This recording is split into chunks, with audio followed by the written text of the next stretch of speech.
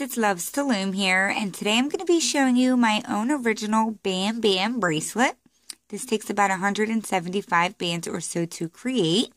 This is actually a variation of my hidden rainbow br bracelet, which I did upload recently. Now, the uh, bracelets in my left hand are the original Bam Bam, and you can see there's a single chain running up the center. I did notice if you do it without that single chain, which is the two right bracelets, it makes the bracelet pop up more in the center and it is a lot skinnier. Now you do have to stretch the bracelet when it comes off to get it to lay flatter like the left side. Um, but they are two different options you can do. I'm going to do it with the single chain, so like these two today. But as I'm doing it, I'll let you know how to do it if you want it to come out this way instead. So there are your options. So without wasting any more time, let's get started. To make this bracelet, you do need at least one loom. I'll be using two just to avoid an extension. Um, also, you want to have them in the normal stagger position like so. You'll need one C-clip and your hook as well. So we're going to lay our border bands first. So the white on this one. I'm going to use orange, opaque orange today. So we'll grab our first band, lay it here on the very first pin for when we close it up. And we will lay our border bands out to the left and the right and then we'll go up the sides. We're going to do this on both sides, of course.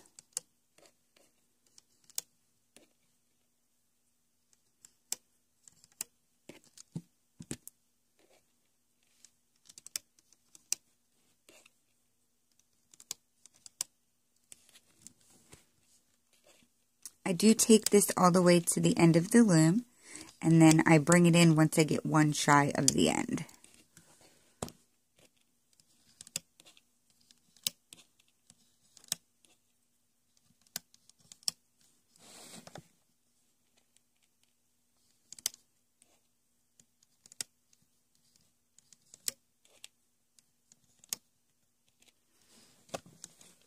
So I'm one shy of the end. I'm going to bring it into the center whoops, like so. And we'll do the same thing on the left side.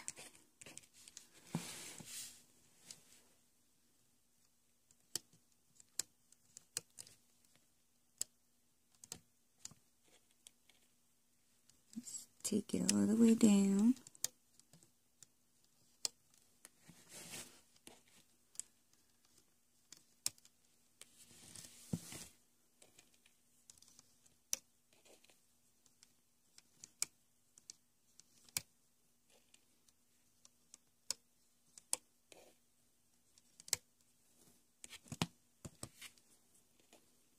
So for those of you who have seen my last upload of the hidden rainbow, you're going to notice that the laying and looping are almost identical.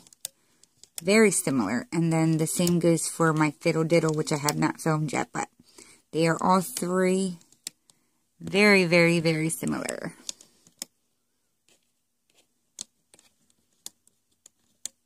Alrighty, so I did go ahead and lay my last band there, so it should look like this with just your border bands.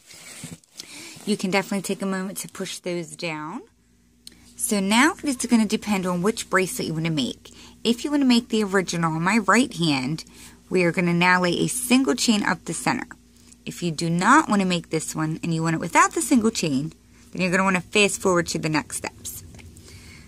So for those of you making the original, we're now going to lay a single chain up the center. I personally liked how the clear looked um, because it doesn't pop out. I don't really want you to see the single chain so much, um, but it just gives it a little bit of a different effect. That's why I like using it.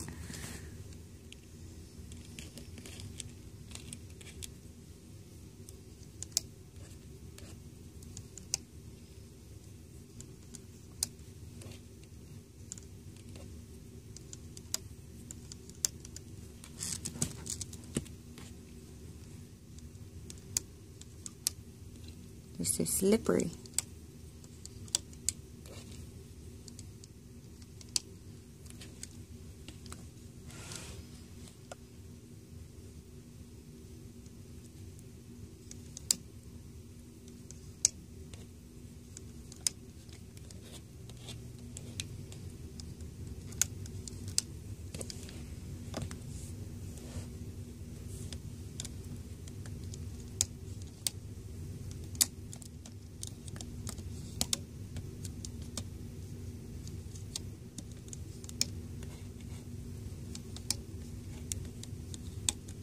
Okay, so you take it all the way down to the end like so. And now we'll come back to the beginning. Okay, so this is where everyone should be back on track doing the same thing no matter which version you're doing. The only difference was that single chain. Okay, so everyone should now lay, we're going to be laying double bands all the way up and we're going to be laying horizontal bands. So take two, stretch them across this pin and across that pin like so. So I forgot to mention this before I laid these, so I am actually going to edit this into the video and let you know that the horizontal bands that we're laying now are actually going to be the bands that are all my rainbow colors. Try to make so sure they're not all twisted. The straighter they are, the neater your bracelet's going to look in the end. So double bands, stretch them horizontally across like so.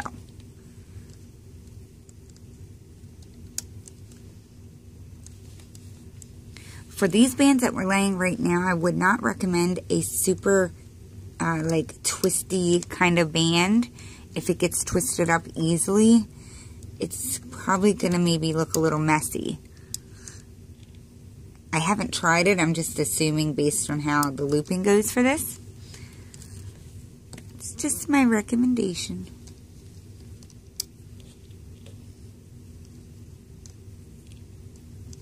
I use the pigs a lot though. You probably noticed that. I just, they're easy to work with, especially on camera.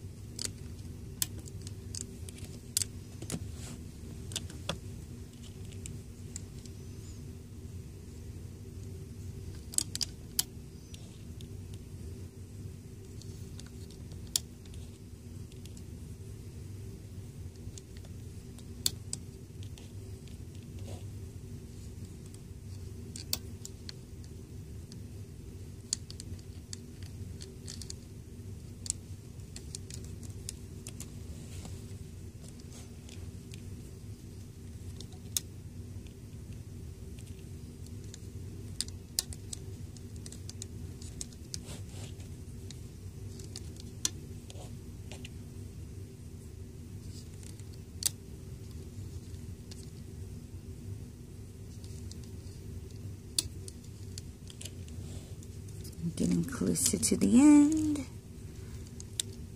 Two more pins and we're done. Well, done this part.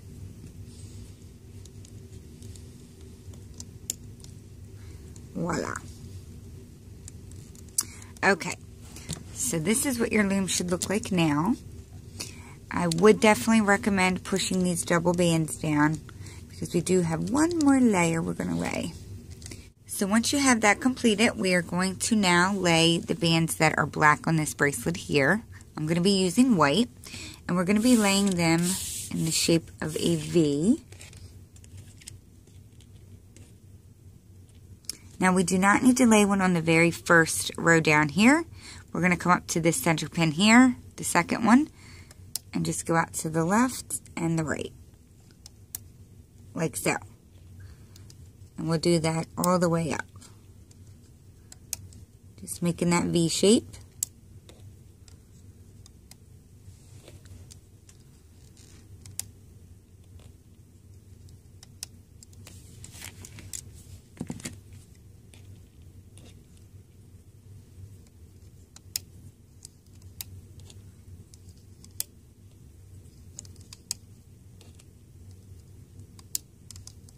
Feels so strange only using one loom.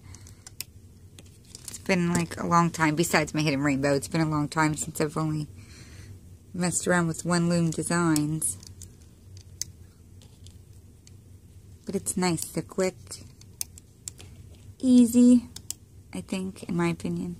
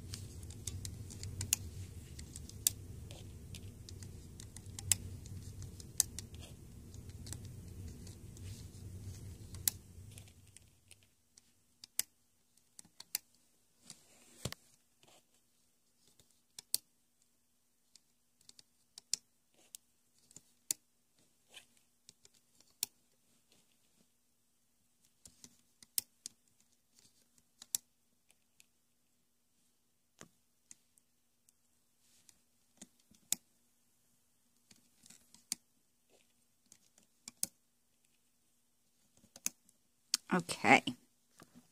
So that is my last set of bands. Once you have them all pushed down, you're going to turn your loom around so the arrows that are facing you. And what we're going to do is start by looping the horizontal bands that are wrapping this way. So that would be my burgundy brown in there.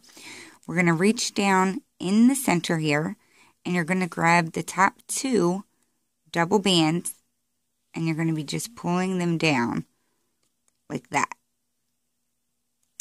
Come up to the next section, go in the middle here, grabbing the top two part of those horizontal bands and we're going to stretch them down.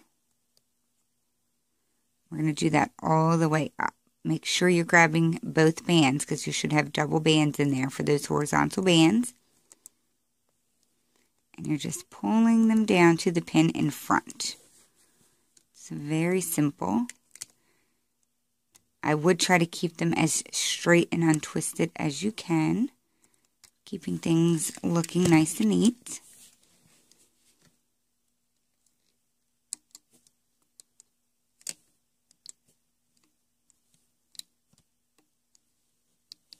I did not have you put a cap band on the front pin yet on purpose. I didn't forget to do that. That is something that we will do later on, just to let you know.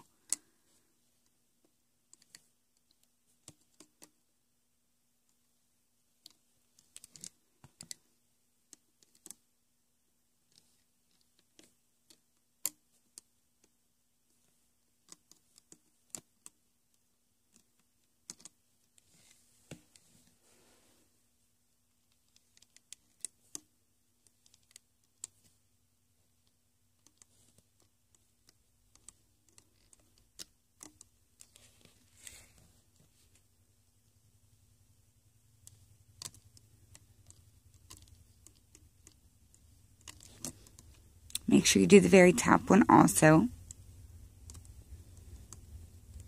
Like so. There's a train going by. I'm so sorry if you hear that. okay, so come back down to the beginning once you have completed that. And you don't have to actually push any bands down. Just be careful. I mean, you can, but just be careful if you don't.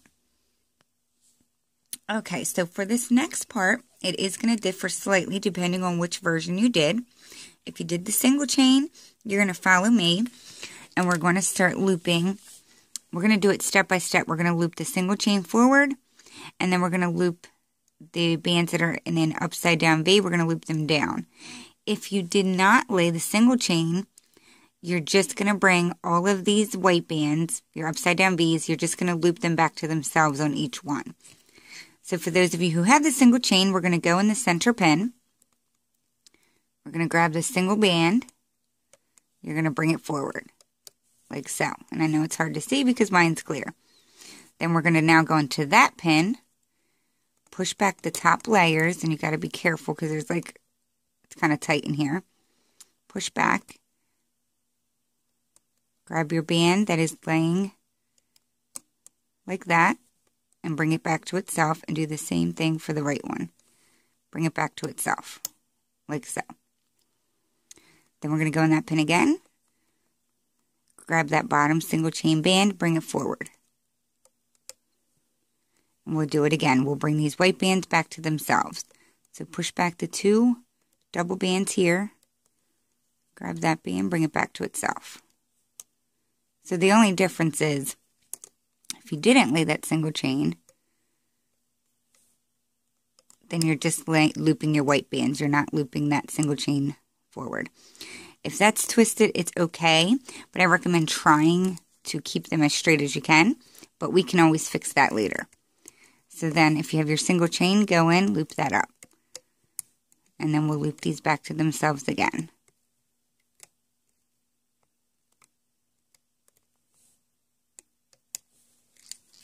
Like so. And we'll continue doing that. So I'll loop my single chain forward. And now I'll loop my whites back to themselves.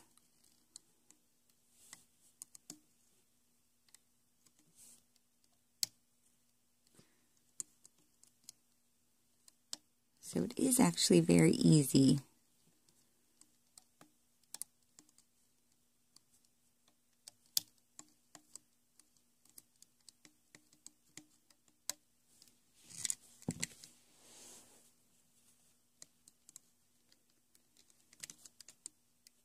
Just be careful when you're pushing back these double bands that you don't pop them off.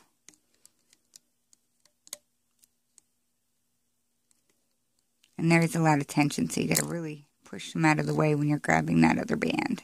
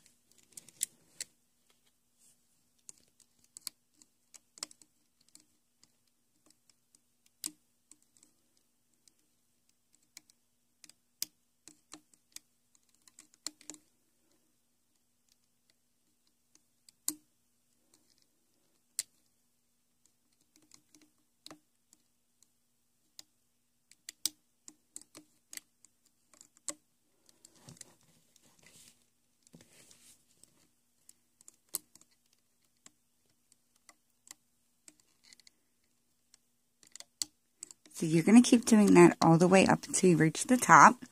I'm going to go ahead and get mine completed. Let me just show you what it should be looking like. So go ahead and get that completed, and then I'll come back and show you what we are going to do next. Okay, so once you have that completed, we're going to come back to the beginning, and we're not going to loop our border yet. We have one more step to do. We're going to go back to the double bands that we laid, which are my burgundy brown. You can see them from the side here these bands in here, the double bands in the center. We're going to be lifting them up and over on both sides. So we'll start on our first pegs on the side. I'm just going to go up my left side and then I'll go up my right side. So stick your pin, pin, no, hook in the pin. Grab those two bands and you're going to bring them up and over like so. Two bands, bring it up and over. Same thing. Make sure you get both of them. Bring them up and over. So again, we're going to do that all the way up. The neater they lay, the nicer it will look. It's kind of hard on some of them to keep them straight, but you can stick your hook and kind of grab them and go like this to try to straighten that out or you can wait until you take it off of the loom and clean it up then. So yeah, we're going to do this all the way up, like so. I feel like I just said that like four times.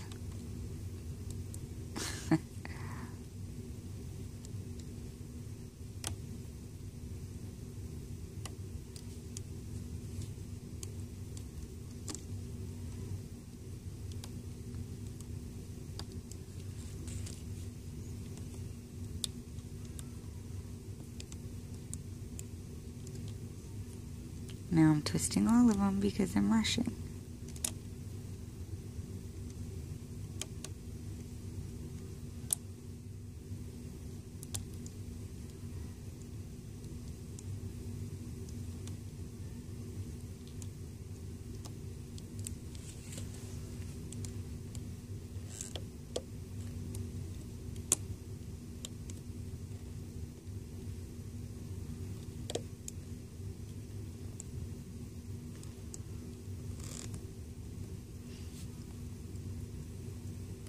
In the very top when there's nothing that you can loop that one onto. So unfortunately, we're just going to leave that not looped on the very top. So then we'll come back and do the same thing on the right side.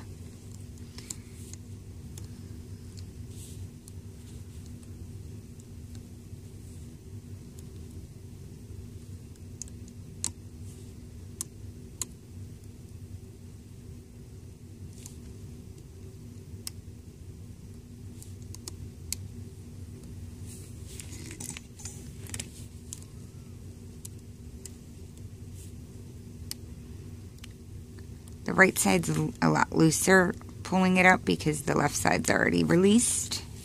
You will notice. Ah. I'm just a mess tonight, aren't I?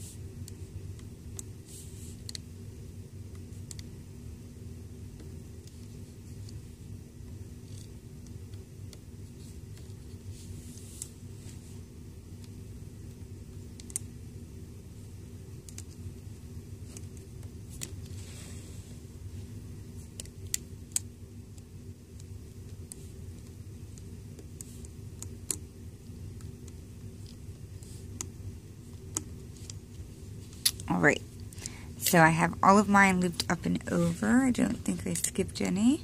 Make sure you didn't skip any. And your loom should be looking like this now. And like I said, I would go through and just try to see if any of them are twisted. You can just kind of fiddle with it with your hook. Stretch it out a little. Try to get it to lay a little neater. And then now all we need to do is loop our border. So we do actually want to add a cap band on down here. I know we have this band here that could act as a cap band, but it's loose. Um, so I like to add another cap band on top of that. So grab whatever color you used for your border. Or you can actually use whatever color this brown one or that band is there. Doesn't really matter. So I'm just using a regular cap band and now I'm going to go in and we'll loop our borders up. So back to itself to the right, back to itself to the left. And we will go up the sides. Make sure you push back any bands that are in your way, such as these two whites. Grab your bottom, bring it forward.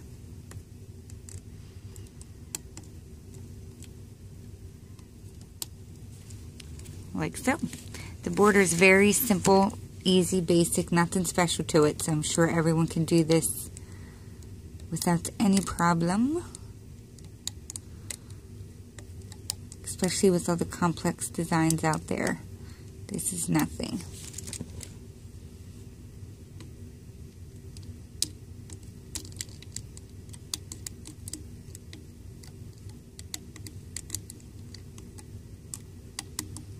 I usually always, always loop my left side first.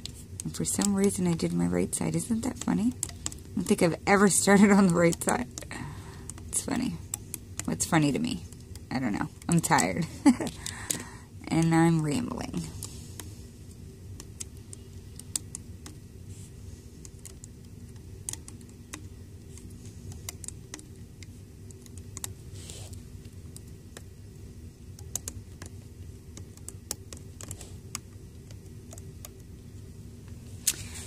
Alrighty, so come to the left side or opposite side than what you've already done and repeat the process.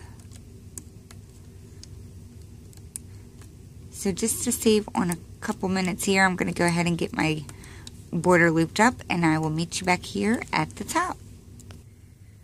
So once you do reach the top, you're going to grab the bottom band we laid here at the top for closing it. Push back anything on the top, grab the very bottom band, bring those two together and that is what we will attach our C-clip onto if I can find it. There it is.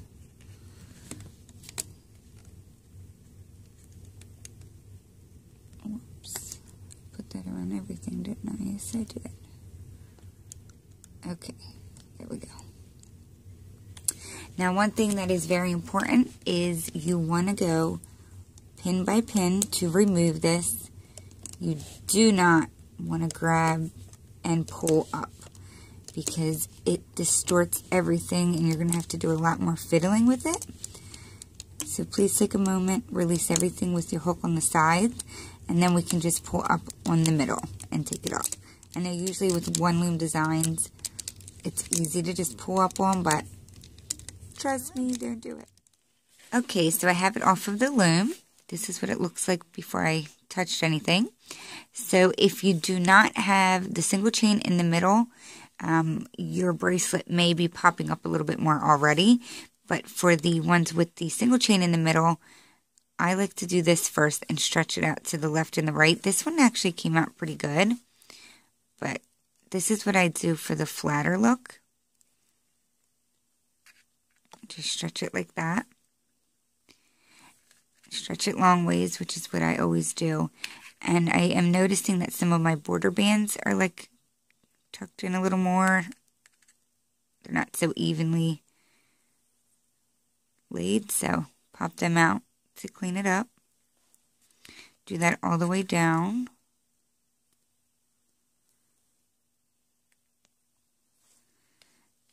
Now, one thing you can do, whether you have the single chain or not, even if you have this one and you don't want it to lay as flat, if you squeeze both sides and kind of pinch them together and pull like that, both bracelets are going to pop that middle up more.